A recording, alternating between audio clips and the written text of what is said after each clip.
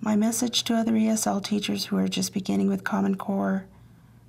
Enjoy the process, be creative, have fun, and know that you're doing the best you possibly can for English language learners.